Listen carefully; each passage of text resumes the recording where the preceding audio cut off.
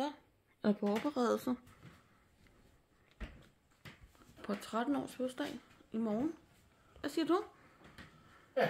Uh. Hej derude.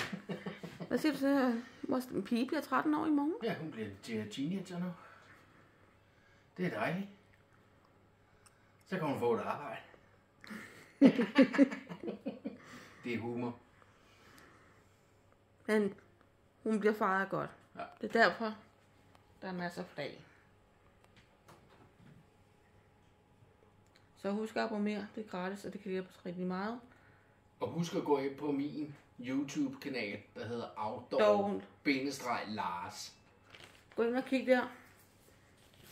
Der, er- der er sjove videoer.